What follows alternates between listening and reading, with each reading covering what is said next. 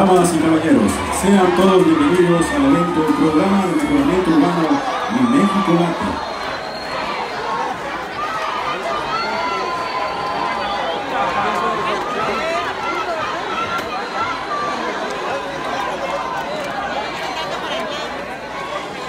Damos la bienvenida al presidente constitucional de los Estados Unidos Mexicanos, licenciado Andrés Manuel López Obrador y autoridades que lo acompañan.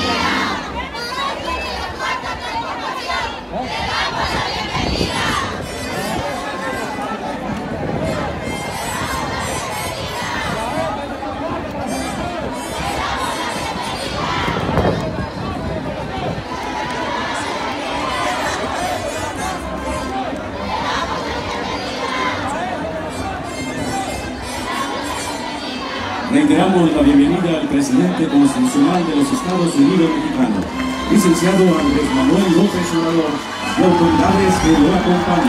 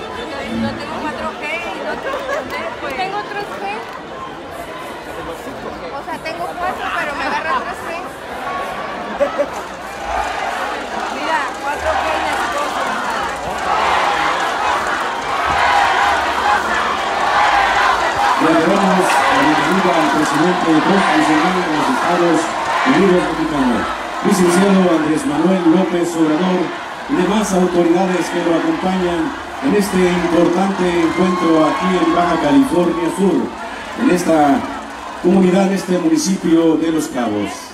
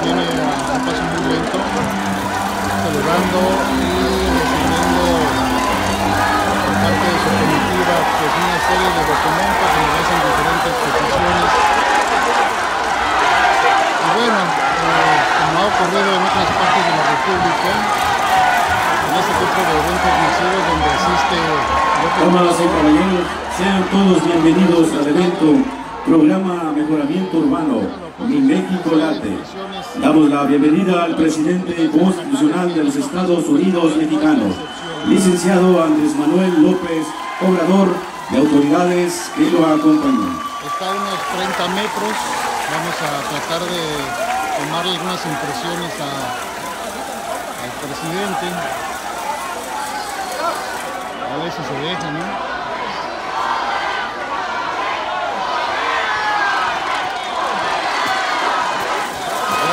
poco el teléfono amigos porque voy a cambiar de, pie. Ahí vemos las posiciones. En bonche,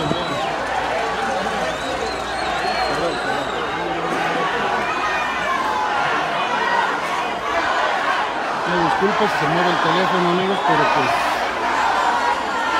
tenemos que hacer el traslado de, de.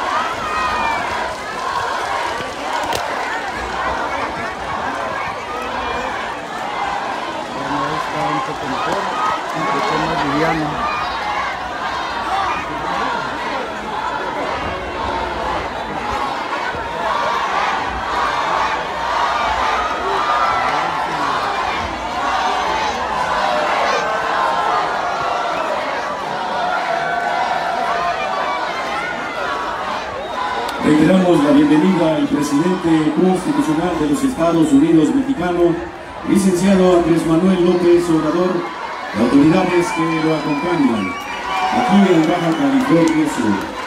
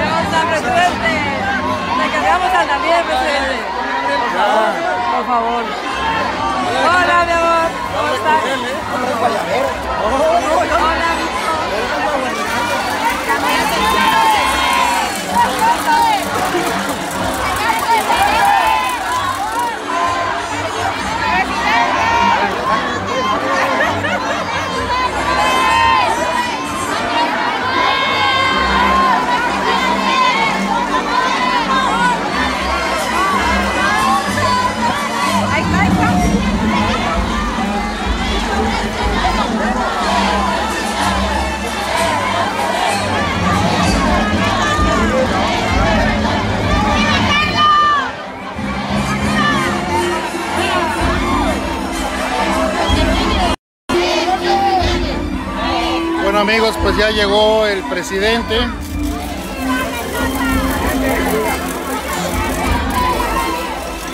Bueno, pues obviamente como una rockstar.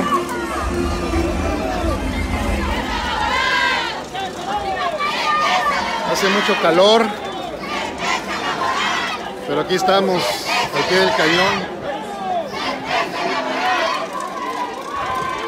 Vamos a cambiar la imagen para ya escuchar el discurso del presidente. al presidente constitucional de los Estados Unidos mexicanos, licenciado Andrés Manuel López Obrador, y demás autoridades que lo acompañan.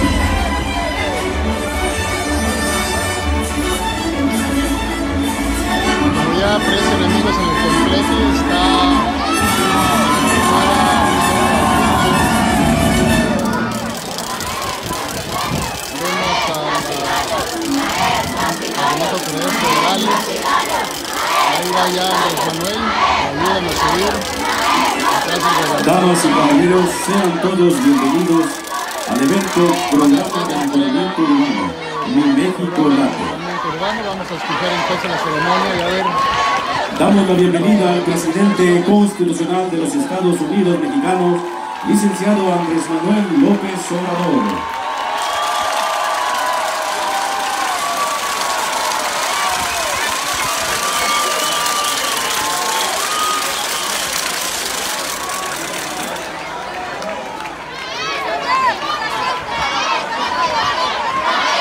Damas y caballeros, sean tan amables de ocupar sus lugares.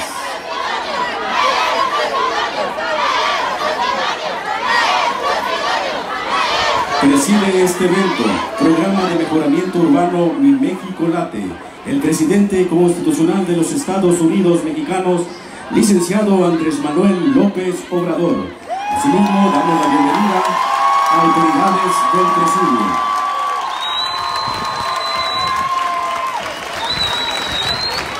Está con nosotros el licenciado Carlos Mendoza Davis, gobernador de Baja California Sur.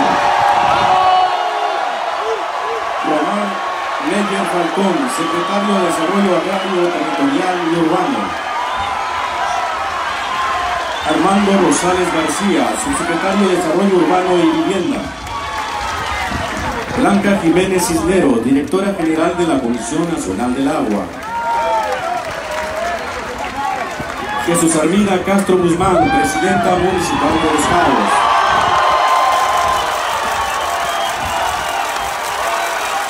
Jesús Lucía Trasviña, Senadora de la República. Ricardo Velázquez Mesa, senador de la República. También nos acompaña Vanessa Stoer Lidowski, titular de la Unidad de Administración y Finanzas de la CEDATU. Agradecemos también la presencia de Rosicela Gutiérrez Noriega, beneficiaria de firma de escrituras del Instituto Nacional de Suelos Sustentables. A María de Jesús Hernández Landeros, beneficiaria de tarjeta de la Comisión Nacional de Vivienda a Prisciliano López Espinal, beneficiario de tarjeta de la Comisión Nacional de Vivienda. Asimismo, saludamos a las autoridades federales, estatales y municipales, sociedad civil, así como representantes de los medios de comunicación. Todos ustedes sean bienvenidos.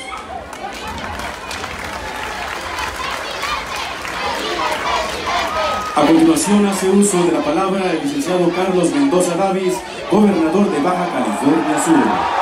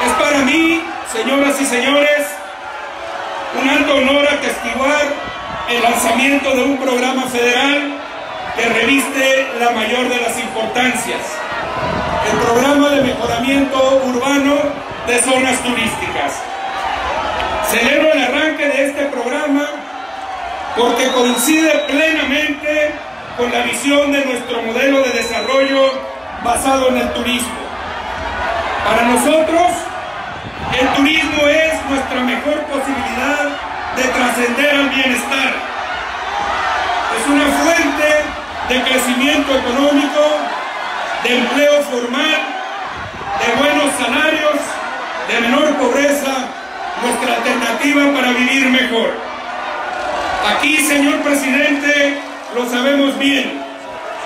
De esta actividad turística dependen 73 mil familias subcalifornianas. Ellas reciben los salarios en promedio más altos del país, casi la mitad más que en el resto. Un alto porcentaje de estos trabajadores conocen bien de nuestra entidad y son nuestros promotores.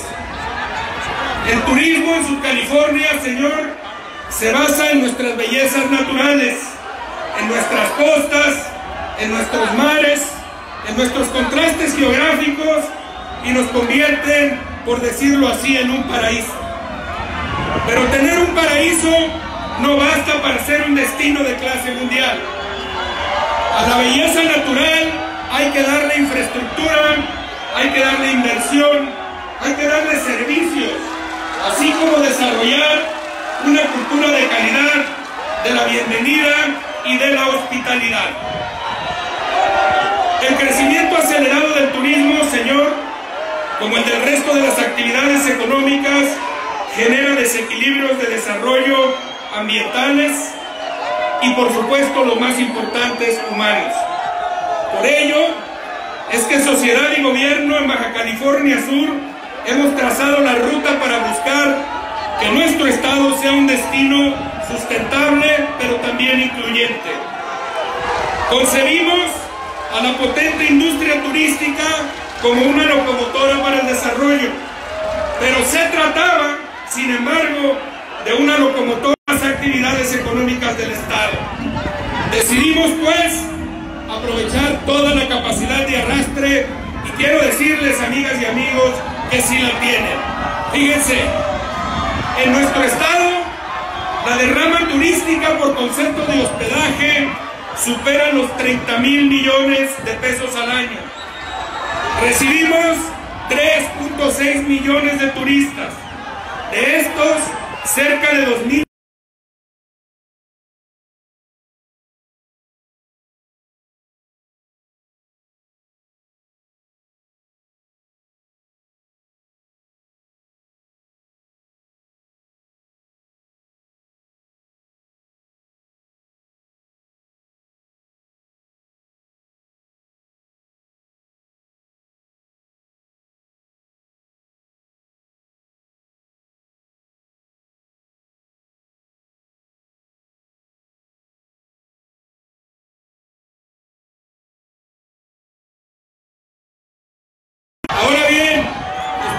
No obstante los alentadores datos, ocurría que nada de lo que se consumía en los hoteles se producía aquí.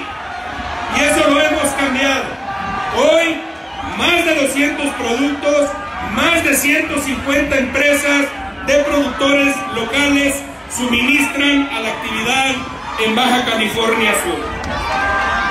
Señor Presidente, queremos inversiones que generen empleos y permitan que cada día nos visiten más turistas. Sí, pero al mismo tiempo nos preocupamos y ocupamos en la protección de nuestro patrimonio ambiental. Queremos más hoteles, queremos brindar más servicios, pero no a cualquier costo.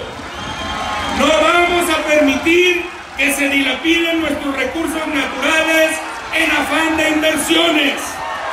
La clave es que no queremos solamente crecimiento, queremos desarrollo y bienestar. Estamos convencidos de que nuestros hijos y que nuestros nietos merecen tanto como nosotros disfrutar de nuestras playas, de nuestro desierto, de un mar limpio y de agua y de aire puro. Señor presidente, aquí en Baja California Sur podemos tener desacuerdos, pero en la protección al patrimonio ambiental no tenemos ninguno.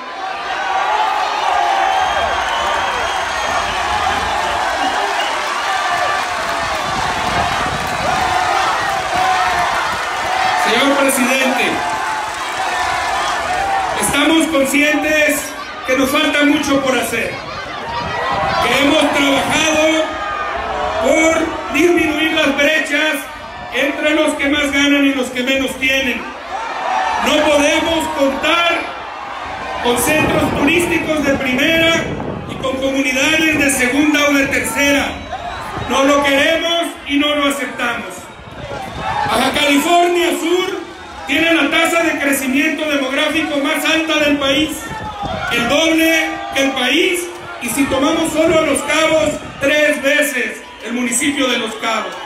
Cada año nuestra población crece más o menos en 30 mil habitantes. Pero quiero decirle que eso no nos espanta ni nos atemoriza. Somos una sociedad de bienvenida, de brazos abiertos. Recibimos bien a los demás. Nos sentimos orgullosos que haya mexicanos que nos eligen como su hogar y se conviertan en sus californianos. Pero el crecimiento económico y demográfico acelerado impone un gran reto, una mayor capacidad de ofrecer condiciones de vida de cada todos, más educación, más seguridad, más salud, más vivienda, más agua, más servicios públicos. Tenemos que reconocer que a pesar de los esfuerzos no hemos podido todavía resolver como hubiéramos querido. Y eso no es correcto ni tampoco es justo. Por esta razón, señor presidente, aplaudimos el programa que hoy inicia y agradecemos que se haya escogido a nuestro principal destino para iniciarlo. No podemos ni debemos resignarnos a que convivan dos realidades distintas, la de lujo con la pobreza, la de la pujanza con la de la necesidad, aquellos que vienen y gastan mucho con aquellos que se quedan y reciben poco. el concreto hidráulico con la calle de tierra, las albercas con las pipas de agua para vivir. Cuenta con nosotros, señor presidente. Estamos con usted y prestos para trabajar juntos. Sepa que aquí va a encontrar siempre, siempre consideración, respeto, colaboración, respaldo, aprecio y gratitud. Le pedimos su apoyo para cumplir el sueño de que sea el turismo la palanca, en la palanca que nos traiga bienestar. Les pido su atención, por favor. Viene un tema muy importante para ustedes y para el señor presidente. Apelamos, señor, a su gran sensibilidad. Resolvamos el problema de lo que más valoramos e incluso queremos más que al oro por su escasez, el agua. Ayudemos a terminar con la sed en Subcalifornia y en Los Cabos. Se trata de una decisión impostergable. Al igual que le pedimos su ayuda en la conservación del patrimonio nacional, del patrimonio ambiental y le solicitamos que la Guardia Nacional, las Fuerzas Armadas, a quienes reiteramos nuestra gratitud, respeto y reconocimiento, se mantengan entre nosotros para conservar la tranquilidad que hemos alcanzado después de atravesar por meses a ciegos. Y sobre todo, señor presidente, para concluir, le agradecemos profunda, sinceramente, que la mano solidaria del gobierno federal llegue a aliviar la desigualdad, sociedad, Estado y municipios. Pondremos de nuestra parte lo disponible para enfrentar juntos el reto. Estoy convencido, juntos podemos más, mucho más. Juntos valemos más, mucho más. Muchas gracias, señor presidente. Bienvenido.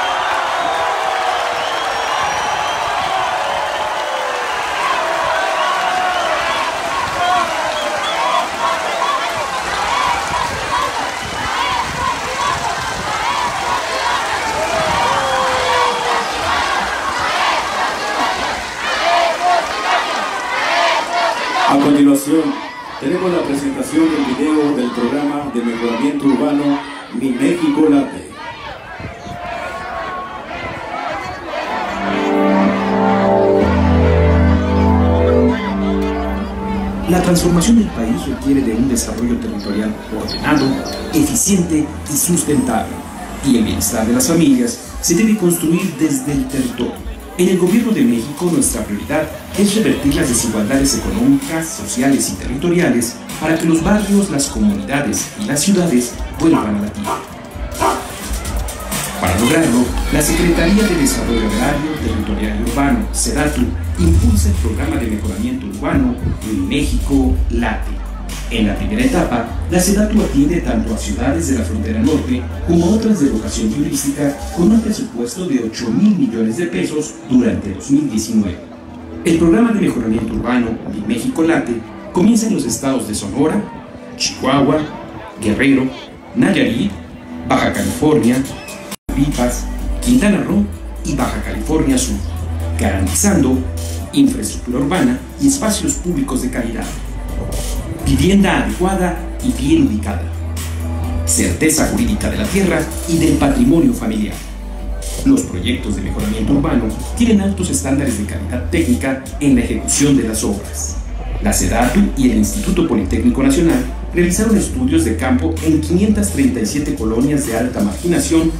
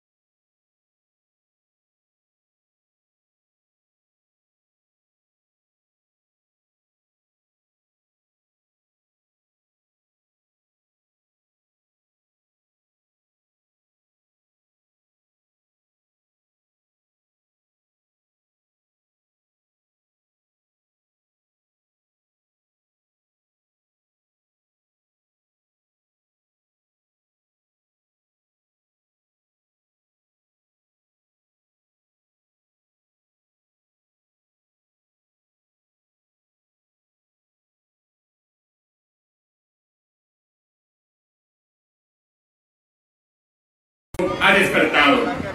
Es momento de que el Estado mexicano también despierte y que dé respuesta a las demandas de la población más vulnerable.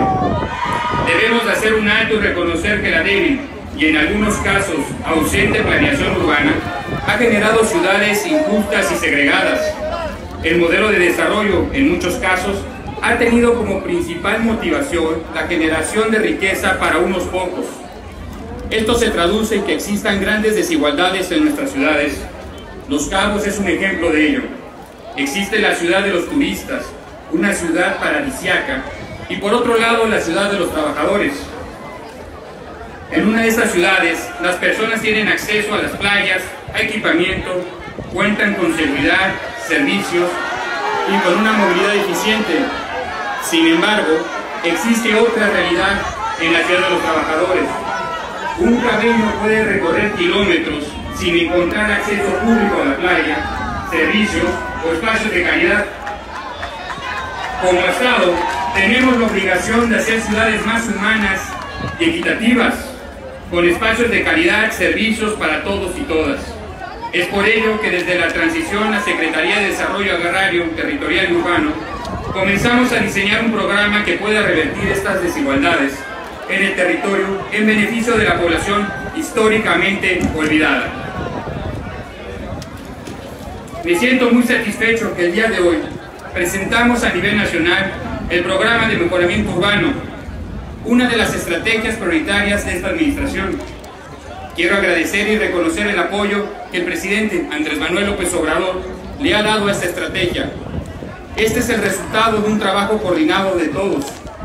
Quiero también agradecer tanto al equipo de la SEDATU como a los equipos de la Comisión Nacional de Vivienda y del Instituto Nacional del Suelo Sustentable. Por medio de este programa, en este primer año, manejaremos la intervención en 15 ciudades mexicanas, 5 turísticas y 10 en la frontera norte, en zonas con altos índices de rezago urbano, a través de intervenciones en el espacio público, infraestructura básica, acciones de vivienda, lograremos que estos barrios vuelvan a latir, mejorando la calidad de vida de quienes ahí habitan. Este programa llega porque las políticas del modelo neoliberal de las últimas décadas fracasaron. La desigualdad que hoy tanto nos lastima se refleja en la falta de desarrollo y articulación del territorio. En Los Cabos, como en muchas ciudades del país, se decidió priorizar el desarrollo urbano de las zonas turísticas y de alto poder adquisitivo, dejando al lado a las colonias, en las que viven las personas que hacen posible la experiencia del turista. Las ciudades crecieron sin garantizar que todas las personas pudieran vivir en zonas seguras, conectadas y articuladas. Otro ejemplo claro de esta desigualdad son las miles de viviendas que se construyeron en zonas periféricas de las ciudades. Estas viviendas se ubican a varios kilómetros de distancia de los centros de trabajo, sin contar con un transporte público de calidad. En otros casos se encuentran en zonas de riesgo en las que nunca debió de haber existido vivienda. Como gobierno tenemos la responsabilidad de no caer en las mismas prácticas. No podemos defraudar a la confianza de la ciudadanía y dejar pasar esta oportunidad. El programa de mejoramiento urbano le da voz a las familias y a las colonias que fueron olvidadas. Con esta estrategia buscamos cubrir la necesidad de aquellas zonas con alta marginación e inseguridad. Queremos garantizar el derecho a vivir dignamente en la ciudad sin importar la colonia en donde uno nació. A nivel nacional, solo este año, el programa de mejoramiento urbano tiene contemplado invertir 8 mil millones de pesos. Se realizarán acciones en dos grandes vertientes, vivienda y mejoramiento integral de barrios. En materia de vivienda, se contemplan intervenciones para mejorar, ampliar o sustituir las viviendas de familias que así lo requieran.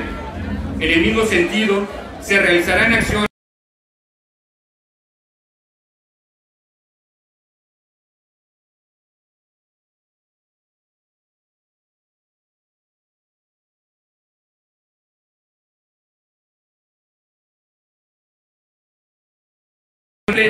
calles enteras con redes de agua potable, áreas verdes, parques, unidades deportivas, centros culturales y educativos, así como clínicas de salud.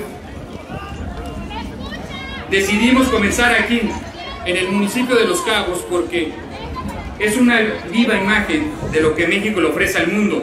Aquí convive y se expresa mucha de nuestra riqueza natural y en especial la hospitalidad de su gente. Sin embargo, como sabemos, la experiencia del turista no es la misma que de los habitantes de esta ciudad. Con un profundo sentido de justicia social, es que nos concentramos especialmente en aquellas zonas de la ciudad que más lo necesitan. Con el apoyo del gobierno del estado y el municipio, del Instituto Municipal de Planeación de los Cabos, del Instituto Politécnico Nacional, así como de la Universidad Autónoma de California Sur y de la Universidad Tijuana, se realizaron encuestas, visitas a las comunidades y mesas de trabajo con especialistas para definir precisamente todos los proyectos que se realizarán aquí, en Los Cabos. Aprovecho para agradecer al gobernador y a la alcaldesa, en quienes hemos encontrado apertura y disposición para trabajar en equipo. Estamos seguros que nuestro esfuerzo tendrá mejores resultados trabajando los tres órdenes de, gobierno juntos. Gracias a esta coordinación, se identificaron dos polígonos en las zonas con mayor índice de marginación en el municipio. Estas zonas están ubicadas al norte de este campo de béisbol, en los alrededores del aeropuerto. Para darnos una idea, en estos polígonos habitan alrededor de 50.000 habitantes, más o menos la quinta parte de la población del municipio, a quienes buscamos beneficiar directamente con el programa, mejorando la identidad e imagen de sus comunidades. Para, la primer, para el primer polígono, que incluye las colonias Las Palmas y Cabo Fierro, se contempla la construcción de una unidad médica de primer contacto, así como acciones de pavimentación, implementación de red de agua potable y drenaje sanitario. También la construcción de un parque infantil y el mejoramiento de una cancha deportiva en las colonias Las Palmas. Para el segundo polígono, se tienen contemplados proyectos en colonias como El Caribe, Lomas del Sol y Lagunitas, donde se construirá una biblioteca, un parque infantil y se dotará de alumbrado público a las colonias como Caribe Bajo y Mesa Colorada. En esta colonia, con una inversión de 80 millones de pesos, se está definiendo un proyecto de una unidad deportiva, un centro cultural y una plaza pública en un predio que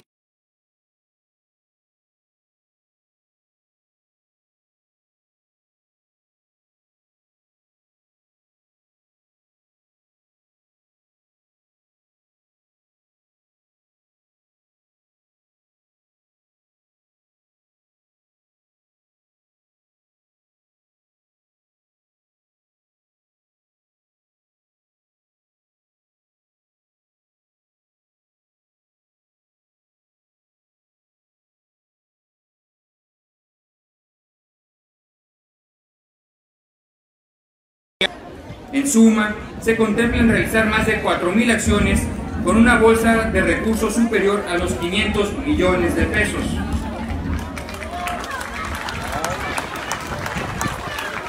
Invertimos esta cantidad esperando que sea tomada como capital semilla para que se desarrollen más proyectos por parte del municipio y del Estado y que de los propios empresarios de la zona puedan colaborar buscando que se dignifique la vida de quienes habitan y trabajan en los cabos.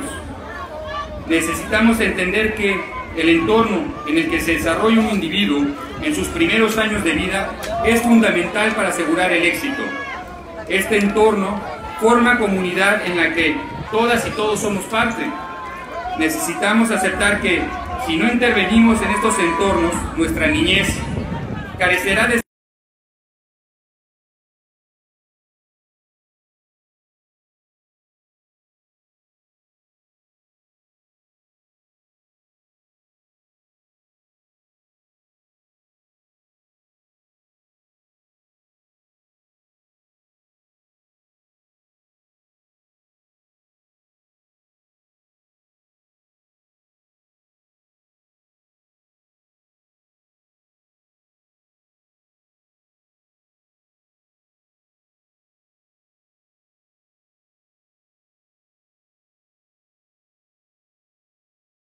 altos criterios de diseño urbano y arquitectónicos.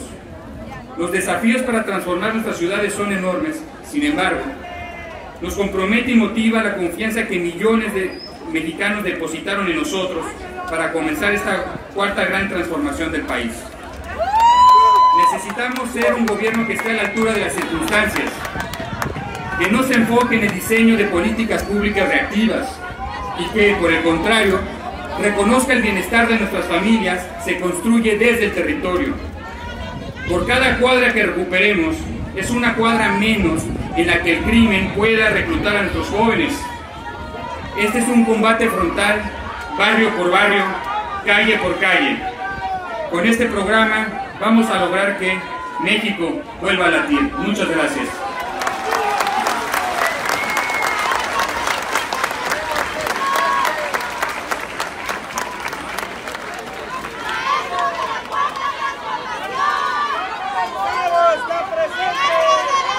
A continuación, se llevará a cabo la entrega simbólica de escrituras y tarjetas a beneficiarios del programa de mejoramiento urbano. Reciben Rosa Isela Gutiérrez Noriega, beneficiaria de firma de escrituras del Instituto Nacional de Suelo Sustentable.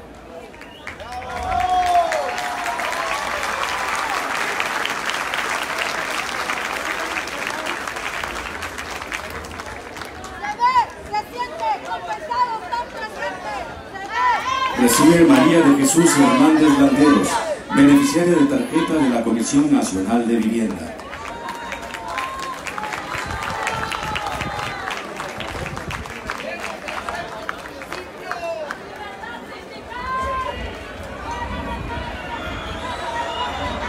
Recibe Prisciliano López Espinal, beneficiario de tarjeta de la Comisión Nacional de Vivienda.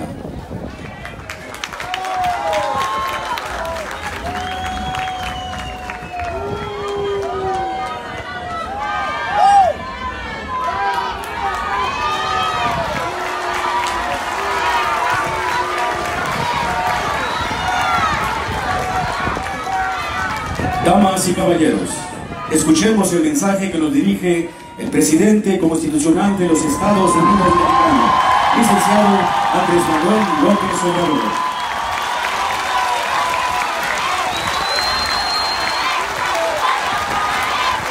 Amigas, amigos de los cabos de Baja California Sur. Me da gusto estar de nuevo con ustedes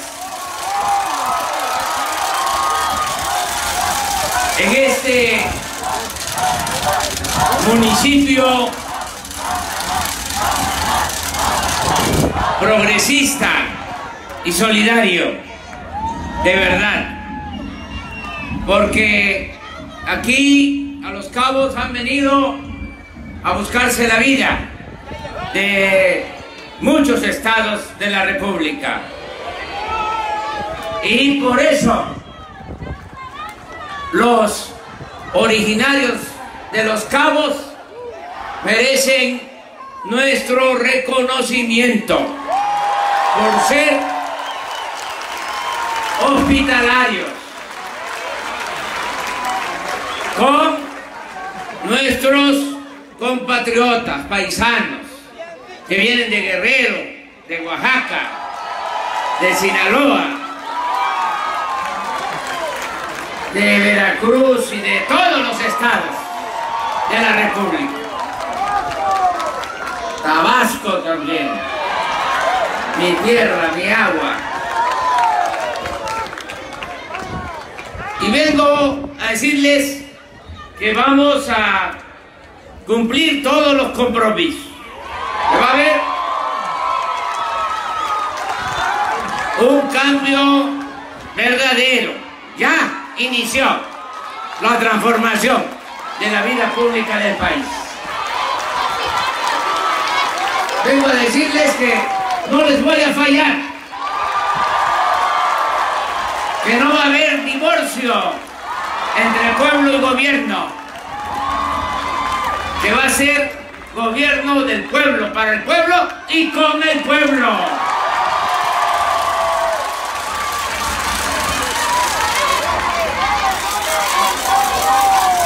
Vengo a decirles que aún con todas las dificultades, con todos los problemas grandes, graves, vamos a salir adelante. Y vas, vamos a sacar de la pobreza a nuestro pueblo y vamos a sacar adelante a nuestro querido México. ¿Por qué? Estoy optimista porque tenemos la fórmula. La manera de enfrentar los grandes y graves problemas nacionales. ¿Cuál es esa fórmula? Acabar con la corrupción.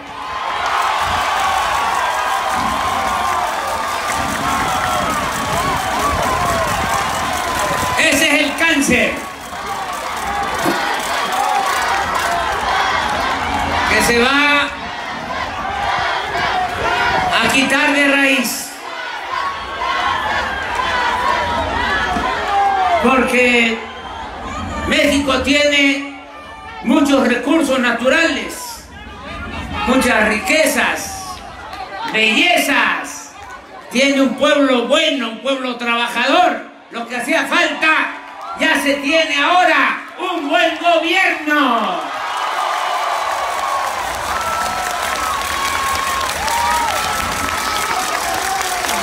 No hay corrupción, va a alcanzar el presupuesto. Ya se está viendo. Les voy a poner dos ejemplos. Uno, llegamos hace tres meses y empezaban, empezaron a informarme, porque tengo una reunión todos los días, desde las 6 de la mañana con el Gabinete de Seguridad, de lunes a viernes. Y en el informe venía lo que se robaban de combustibles, el famoso guachicol. ¿Saben cuánto se robaban? Con la complicidad de los de arriba, 800 pipas diarias. El año pasado, ese robo significó 65 mil millones de pesos. Dinero del pueblo que se fugaba, que se iba a unas cuantas manos, porque si bien es cierto que mucha gente por necesidad tenía que llevar a cabo esta actividad ilegal, eran los que recogían de las tomas clandestinas 20, 40 litros de gasolina. Pero los mañosos, los de arriba, pipas, se robaban y se distribuían hasta en las gasolinerías de las ciudades. ¿Qué dijimos? Se acaba el guachicol. Ya no va a haber guachicol. Ni arriba ni abajo. ¿Saben? Que no fue fácil, porque quisieron jugar a las vencidas y querían dejarnos sin gasolinas en la Ciudad de México. Y hubo mucho problema de abasto, pero la gente nos ayudó, nos apoyó, resistió. Tenían que hacer cola para cargar gasolina, tardaban hasta una hora, dos horas, iban a cargar en la madrugada, pero la gente respaldó la medida que tomamos, regularizamos ya el abasto, ahora ya no se roban esas 800 pipas diarias. Se siguen robando porque es un problema bien arraigado. Se roban 40. Si seguimos así, este año vamos a ahorrarnos 50 mil millones de pesos. ¿Y para qué va a ser ese dinero? Para el pueblo, para beneficio del pueblo. Otro ejemplo. Estaban acostumbrados los de mero arriba, los camajanes, machuchones, a no pagar impuestos. Paga impuestos el pueblo raso, porque en cualquier mercancía va incluido un impuesto. y pagan impuestos los comerciantes y los pequeños, medianos empresarios y los maestros, los profesionales y también los del sector del turismo. Pero hay un grupo que estaba acostumbrado a no pagar y cuando pagaba impuestos se les devolvía. Cuando llegamos ya había una resolución firmada por un ministro de la Suprema Corte para devolverle a los ex dueños de la empresa modelo 35 mil millones de pesos de impuestos sobre la renta. Llegamos y como sabían, intuyeron de que no se las iba yo a dejar pasar, ¿qué sucedió? Ya no pudieron firmar ese acuerdo y nos ahorramos los 35 mil millones de pesos. Por eso, tengan confianza de si nos va a alcanzar el presupuesto. Lo único que debemos de tomar en consideración es de que son muchas las demandas y no se pueden resolver todo de la noche a la mañana. ¿Saben qué dijo el apóstol de la democracia, Francisco y Madero? Retomó una frase bíblica para enfrentar a la dictadura porfirista. Dijo, el pueblo de México tiene hambre y sed de justicia. Así estamos. Hay problemas de todo, porque el gobierno no estaba hecho para atender al pueblo. El gobierno era un facilitador del saqueo, del robo. Por eso tenemos que tener paciencia, vamos a resolver todas las demandas, pero vamos a ir poco a poco, para que en el sexenio podamos hablar de que sí hubo la cuarta transformación y que la justicia tardó, pero llegó a México.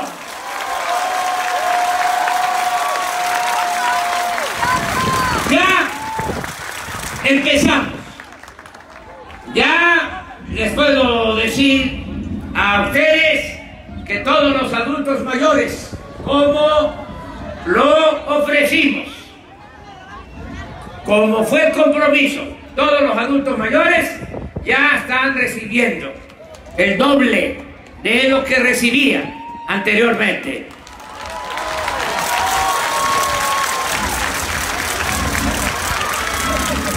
Aquí, en Baja California Sur,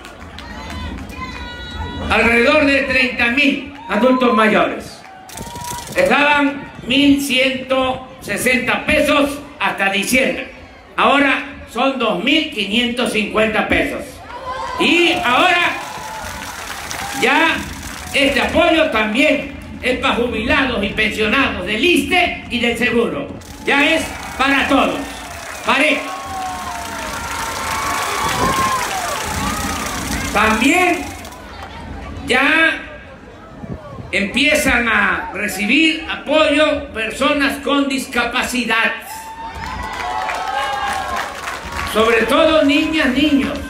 Es muy satisfactorio, muy humano poder decir que todas las niñas, todos los niños con discapacidad de Baja California Sur van a tener su pensión igual, 2.550 pesos mensuales.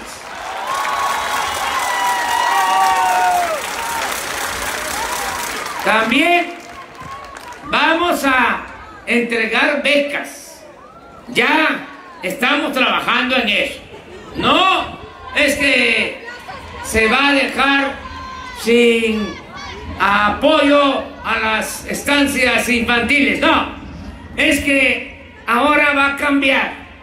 Se le va a entregar el apoyo a los padres, madres y padres de familia porque ya ninguna ayuda del gobierno, ningún apoyo se va a entregar a intermediarios. Ya eso se acabó. No es de que yo soy de la organización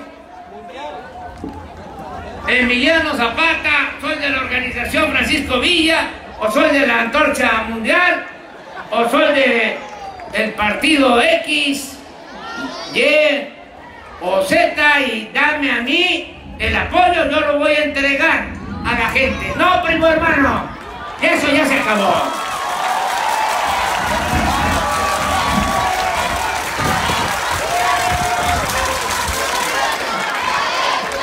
Ahora es de la tesorería de la federación al beneficiario con su tarjeta. Aquí no hay ningún problema porque hay bancos y va el beneficiario y saca lo que le corresponde. Por eso se está haciendo el censo del bienestar, para que llegue el apoyo directo, porque cuando es a través de intermediarios o a través del mismo gobierno, va bajando el dinero de oficina en oficina y cuando llega, si es que llega, ya es muy poco. Por los moches. Ahora va a ser completo, sin piquete de ojo, directamente al beneficiario.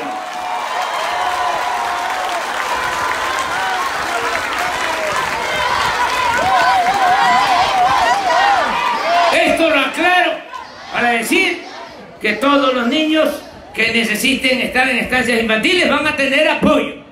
Y los que estudien en primaria, secundaria, también de familias de escasos recursos económicos, su beca, 1.600 pesos cada dos meses. Los que estudian en, el nivel medio, superior, preparatoria, colegios de bachilleres, aquí en Baja California Sur, nada más para nivel medio superior, son 21.822 alumnos en total, todo el estado, colegios de bachilleres y escuelas técnicas, todos van a recibir también 1.600 pesos cada dos meses. Ahí es general. ¿Por qué en este nivel de escolaridad es a todos? Porque queremos que los jóvenes no abandonen la escuela. Y en este nivel de escolaridad es en el que dejan la escuela. Y coincide mucho que es, desde luego, la edad de la adolescencia. Y los jóvenes están expuestos a muchas tentaciones a esa edad.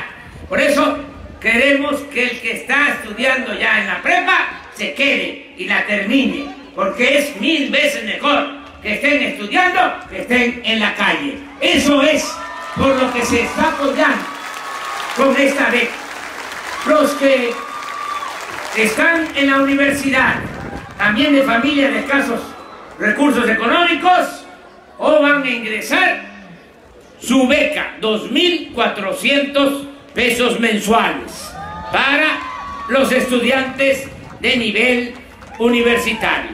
Y a los jóvenes que no tienen trabajo, que no tienen empleo, que les llamaban antes de manera ofensiva, ninis, porque ni estudiaban ni trabajaban, pero no se hacía nada por ellos. Ahora, todos los jóvenes desempleados, todos, no, es un programa para 50, para 100, es un programa aquí en Baja California Sur para cerca de 6 mil jóvenes que van a ser contratados.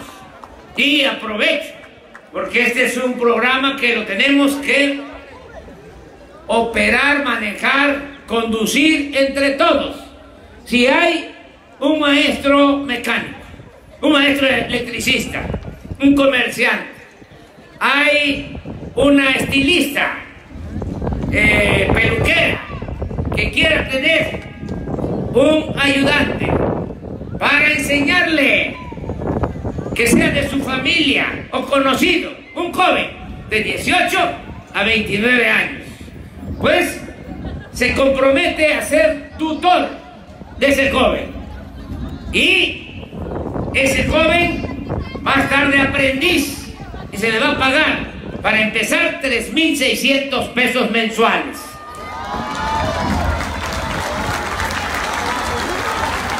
Para que vaya aprendiendo el oficio o que también, que es muy importante, tenga una ocupación y ese tutor vaya orientando al joven por el camino, por el sendero del bien, porque para eso es el tutor. Ya tenemos autorizados a nivel nacional 44 mil millones de pesos para este programa. No va a quedar un joven sin trabajo para que así los alejemos de tomar el camino de las conductas antisociales. No podemos seguirle dando la espalda a los jóvenes, porque por eso, entre otras cosas, es que creció tanto la inseguridad y la violencia. Las cárceles están llenas de jóvenes, los que pierden la vida, los que son asesinados, la mayoría jóvenes. Por eso tenemos que ir casa por casa incorporando a los jóvenes al estudio y al trabajo. Y ese programa se va a aplicar aquí en Baja California Sur. También les digo que van a haber créditos para los que tienen pequeños negocios, los que se buscan la vida en la calle, los que tienen un pequeño taller, que se dedican a las artesanías, tienen una pequeña tienda, tienen una taquería, se dedican a alguna actividad económica, van a tener oportunidad de recibir créditos a la palabra. Les llamamos tandas para el bienestar. Le va a entregar primero un pequeño crédito, poquito porque es bendito. Nada más para empezar, 6 mil pesos, pero sin intereses y sin papeleo, sin que dejen eh, las escrituras de la casa, sin ninguna garantía. La garantía es la palabra, porque la mayor riqueza de México es la honestidad de su pueblo. Van a recibir estos 6 mil pesos, pasan tres meses, no abonan, pero al cuarto mes empiezan a abonar 500 pesos mensuales. Terminan de pagar los 6 mil y en automático 10 mil. Terminan de pagar los 10 mil y en automático 15 mil. Terminan de pagar los 15 mil y en automático 20 mil. Para reactivar la economía desde abajo.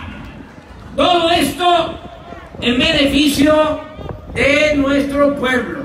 Vamos a atender a todos, vamos a escuchar a todos, pero le vamos a dar preferencia a la gente humilde, a la gente pobre. Por eso, aquí en Los Cabos se vino a anunciar este programa de desarrollo urbano para centros turísticos, que no solo se va a aplicar aquí, se va a aplicar también allá en Quintana Roo, se va a aplicar en Acapulco, se va a aplicar en Vallarta, se va a aplicar en Bahía de Banderas. ¿Por qué este programa de desarrollo urbano de Los Cabos?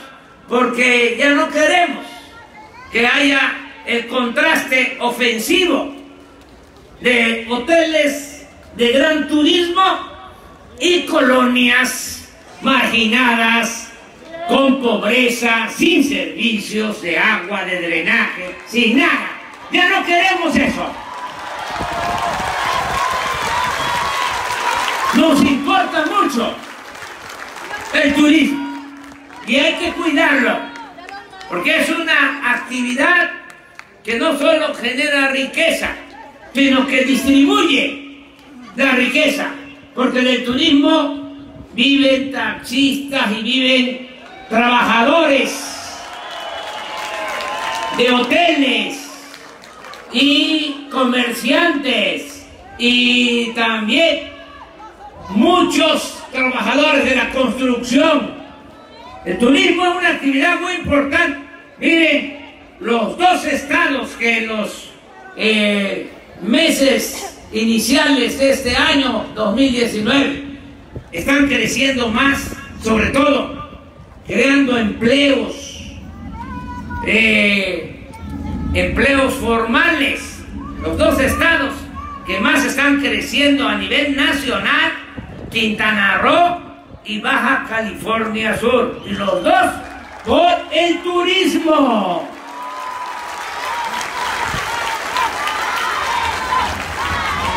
Ni modo que por otra actividad. ¿Por qué crece?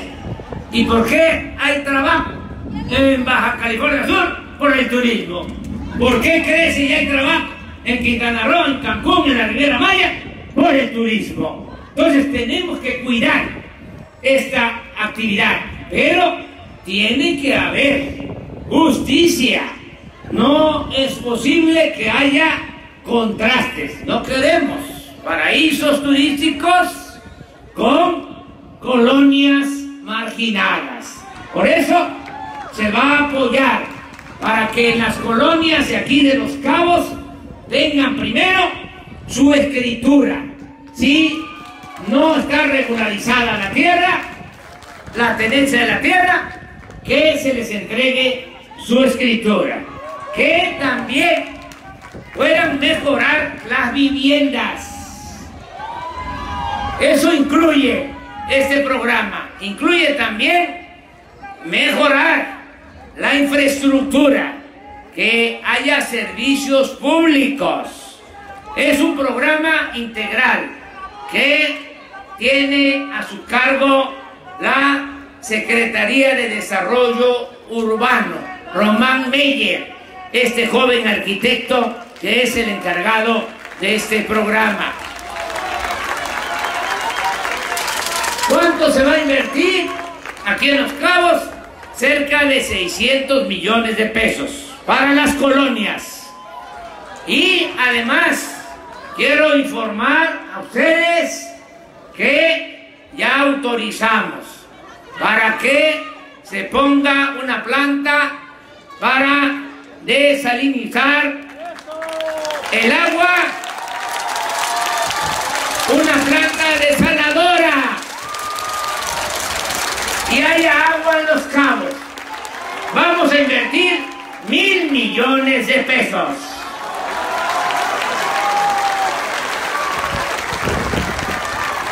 Aquí está la directora general de la Comisión del Agua del Gobierno Federal, Blanca Pinés, que es una experta en todo lo que tiene que ver con agua. Y le pedí que me acompañara para hacer este compromiso. Y eh, nobleza obliga. Ahora me van a esperar los compañeros taxistas. Este, nada más quiero decirles, porque voy a hablar sobre este asunto. Solo quiero decir que esta gestión la hizo el ciudadano gobernador de Baja California Sur.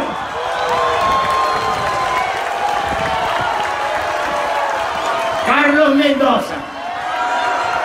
Y ya que estoy en esto, como dicen los jóvenes, ya chole con estarnos peleando.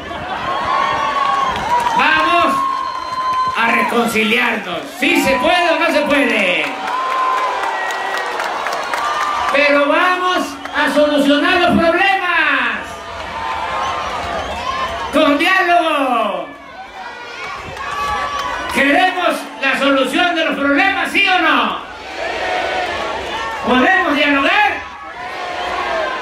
Estoy seguro que se va a buscar una solución a la demanda de los taxistas.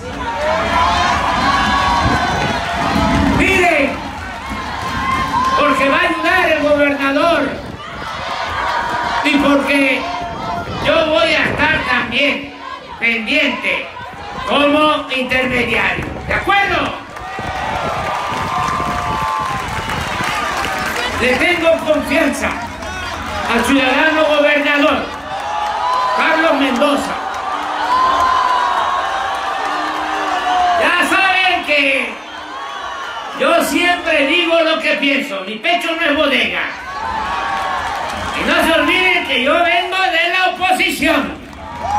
Que cuando decían no es blanco, no hermano, no es blanco, es negro, fíjate. Es por aquí, no, no, no, ese camino no lo quiero. Ese camino ya está muy trillado. Quiero un camino nuevo. Por eso, tengan confianza. Vamos a llegar a un arreglo. Hace unos meses estuve en La Paz y estaban planteando que me definiera sobre lo de la mina. Ya llegó también la hora de la definición. Y les digo al pueblo de Baja California Sur, no a la mina.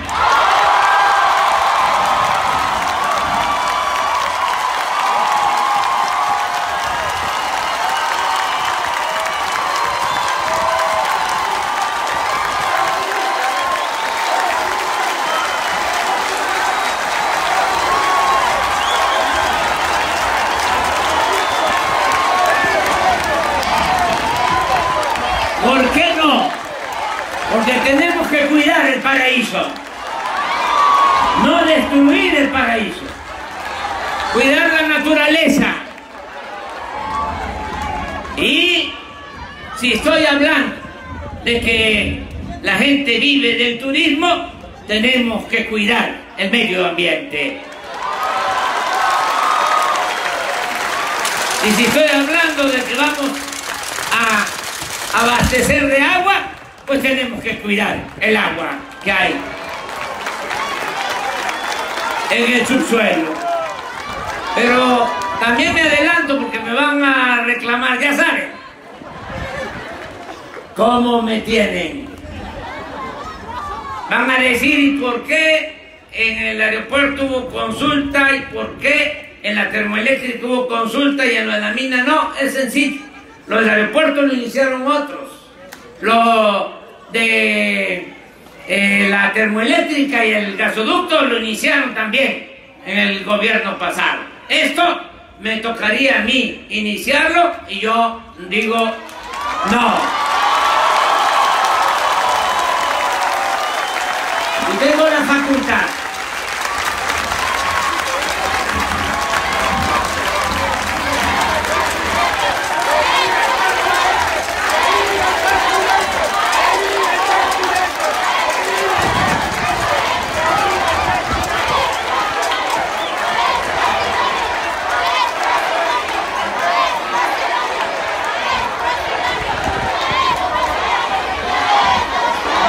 En el caso de los maestros, decirles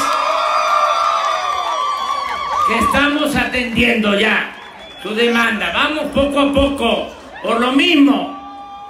Ya cumplí con una parte. Le dije, si ganamos se cancela la mal llamada reforma educativa y ya. Eso está en vía de resolverse. Ya envié una reforma a la Constitución para cancelar la mal llamada reforma educativa. Y estoy haciendo el compromiso con trabajadores de la educación, con trabajadores de salud, para regularizarlos. Lo mismo, vamos a ir poco a poco, pero se va a basificar a los trabajadores de la educación y de la salud. No puedo hacerlo de la noche a la mañana, pero lo voy a hacer en el sexenio. Eso ya, que les quede muy claro. Vamos a empezar por los que tienen más antigüedad. Nada de recomendados de influyentismo o yo tengo buenas palancas. Eso ya también ya se acabó.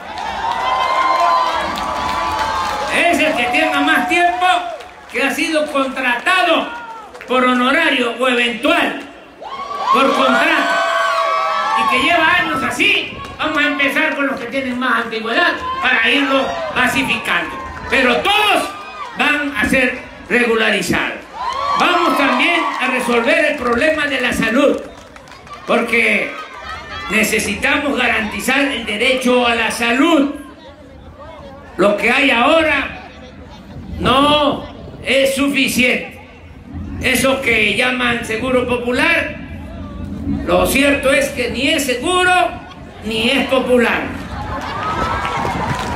Porque en los centros de salud no hay medicinas, en los hospitales no hay medicinas, no hay médicos. Y lo mismo, hay miles de trabajadores eventuales o por honorar. Vamos a poner orden, se va a regularizar toda la situación de la salud y vamos a integrar todo el sistema de salud pública. El propósito es que logremos que haya un sistema de salud eficiente, con atención médica y medicamentos gratuitos para toda la población. Y volvemos a lo mismo. ¿Saben por qué lo podemos lograr? Porque no se necesita dinero adicional.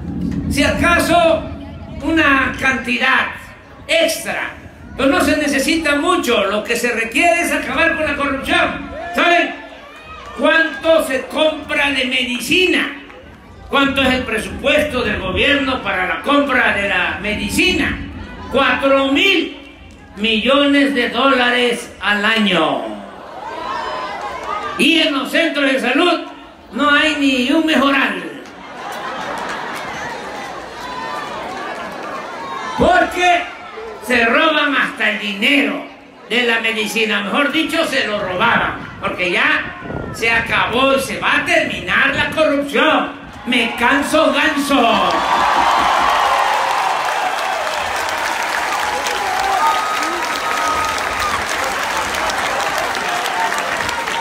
Podría yo seguir hablando, pero yo voy a regresar. Hago el compromiso que en tres, cuatro meses estoy de nuevo aquí. Para evaluar, para ir viendo cómo vamos avanzando, para que de esta manera, entre todos, llevemos a cabo la transformación de México, por nosotros y por los que vienen detrás de nosotros, nuestros hijos, nuestros nietos, las nuevas generaciones. ¡Que viva el pueblo de los cabos! ¡Que viva Baja California Sur! ¡Viva México! ¡Viva México! ¡Viva México!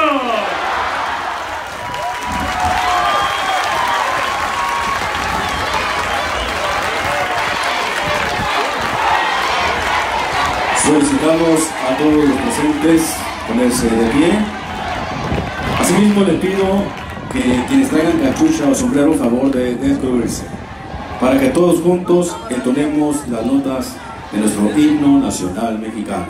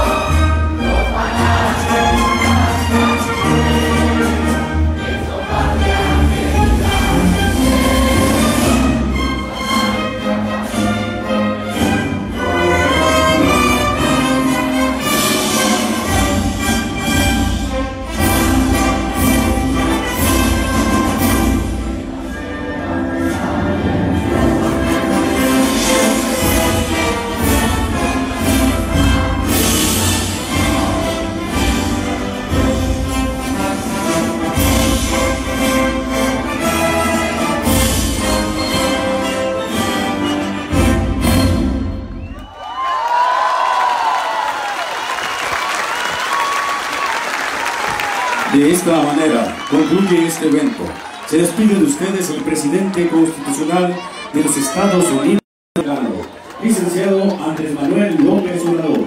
Agradecemos a todos ustedes su amable asistencia, deseándoles que tengan una excelente tarde. Felicidades. Bueno, terminó el evento. Eh, evidentemente,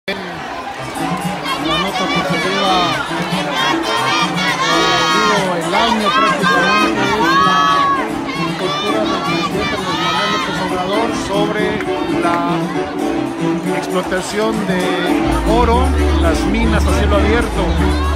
Es confirmado entonces en Baja California Sur se dice no a la minería a cielo abierto, no a la extracción de oro mediante procesos químicos y contaminantes.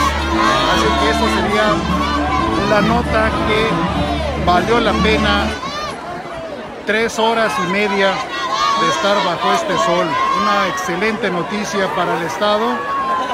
La posición del presidente Andrés Manuel López Obrador para decir no a la mina, no a la minería.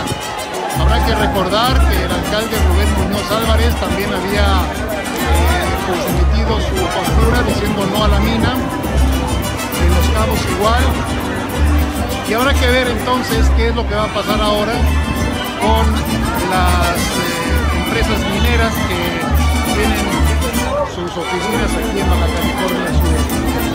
Por lo pronto, ya es un hecho confirmado la negativa del presidente Andrés Manuel López Obrador de que la minería eh, no va a operar en nuestro estado. Una excelente noticia sin duda. Y además evidentemente está la cuestión del agua donde se anuncia una inversión de mil millones de pesos para los cabos construir así pues la planta desaladora que tanto que tanto se había propuesto por cuestiones políticas. Hoy el presidente dice sí, van mil millones de pesos para esta planta. Hay que estar pendientes de La Paz porque también en una información que yo no tenía a la mano, el presidente de la República llegó a La Paz en un vuelo de Interjet me parece y se reunió con el alcalde Rubén Muñoz que también le planteó la necesidad de hacer algo por la cuestión del agua. Habrá que esperar entonces el tiempo para ver qué es lo que se platicó, qué es lo que se dijo y esperar las noticias la presidencia municipal de La Paz. Por lo pronto amigos, gracias. En un momento más hacemos otro enlace en el autobús. Vamos a refrescarnos un poco porque hace muchísimo calor. Gracias. Un abrazo a todos y viva Baja California Sur. No a la mina, más inversión de agua. Excelente noticia para nuestro estado. Pásenla bien, su amigo en el aire Antonio Ceja. Les deseo un excelente domingo. Hasta, la pronto. Hasta pronto.